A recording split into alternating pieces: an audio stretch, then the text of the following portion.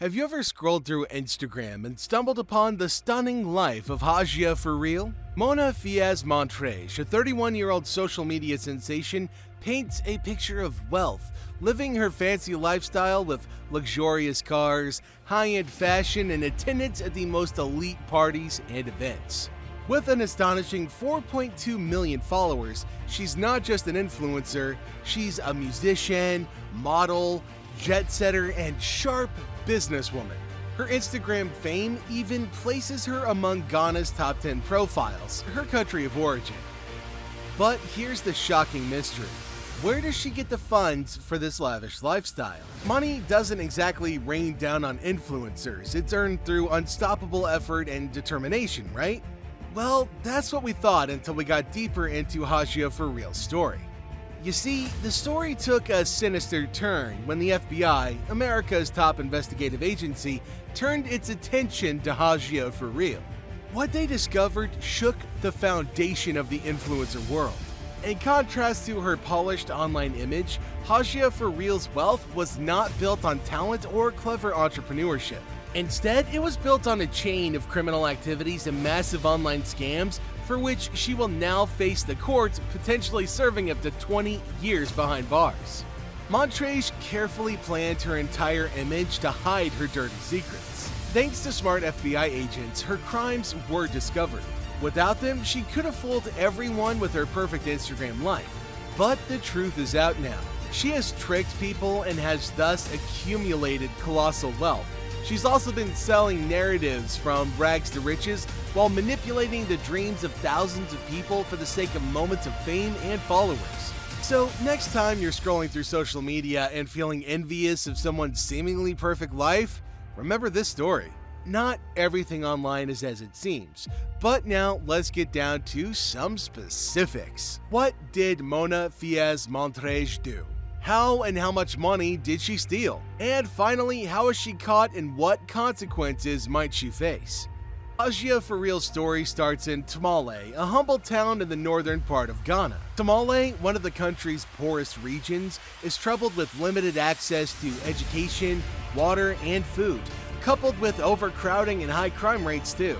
Mona grew up here with her siblings, raised by a Ghanaian mother and a Lebanese father. She attended basic education in Tamale and later started high school at Lebone Senior High School, but she never completed any higher education than a basic one. Suddenly, out of nowhere, she emerged on Instagram in 2015, and that's when the suspicious tale begins. Her profile never reflected the background she came from, and she never revealed the source of her sudden wealth. In July 2017, Mona For Real introduced a cosmetics brand for women called For Real Beauty to the market. Meanwhile, she became the owner of several thriving companies specializing in organizing events and parties. In the media, she gained attention for her connections with other famous influencers and her appearances in music videos, including one for the artist Shatta Wale and his song Bulletproof.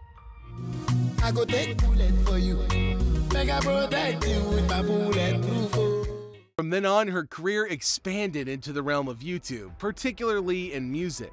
But let's not fool ourselves. It's not about extraordinary musical talent. It's about extravagance, wealth showcased in music videos, funds that someone had to provide. In November 2020, Mona For Real released her debut single titled Better Than.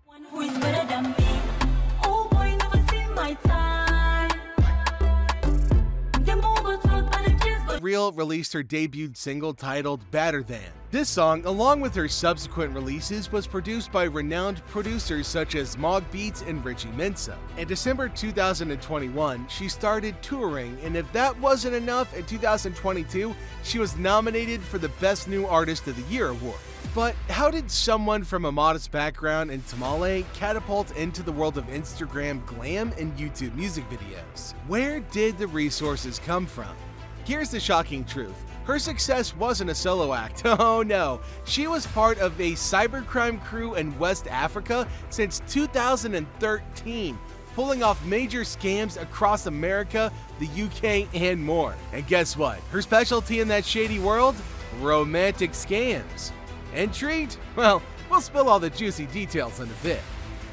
But hey, before we unveil the entire scandal, we've got a quick favor to ask you.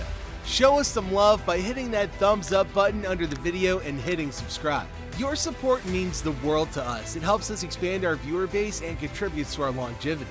Oh, and thanks for sticking with us. And now, back to the jaw dropping revelations. Picture this a charming stranger enters your life online, showering you with affection and promising a future together. It seems. it seems like a dream. But beware, it's a romance scam. These crafty scammers create fake personas, luring unsuspecting individuals into romantic relationships. Once trust is established, they concoct elaborate stories, manipulating emotions to extract money or sensitive information. These scams prey on vulnerability, leading to heartbreak and financial loss. And this is exactly how Mona for real earned her fortune for the lavish lifestyle she now displays on the internet. Mona for real is accused of managing bank accounts where more than $2 million of fake money landed. Court papers reveal she had accounts in New York and other places too. She'd stash the money there and then send it to other scammers that she was working with.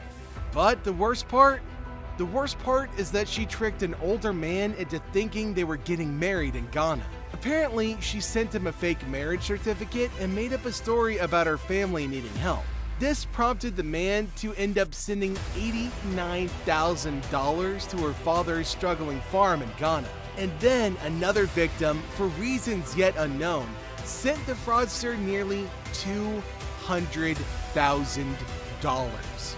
The total amount of the scam is currently estimated at $2 million, although some sources claim it might actually be as high as $8 million. She's facing serious charges, including conspiracy to commit wire fraud, wire fraud, money laundering conspiracy, and money laundering.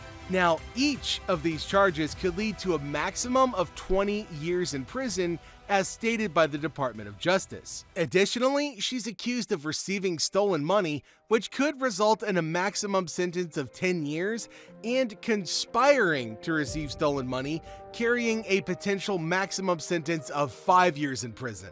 You add that up, and that's a lot of time. She didn't plead guilty during the trial.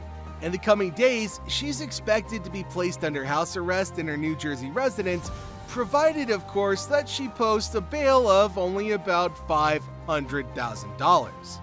Her movements will also be monitored via a GPS ankle bracelet confirmed by both her lawyer and the prosecution.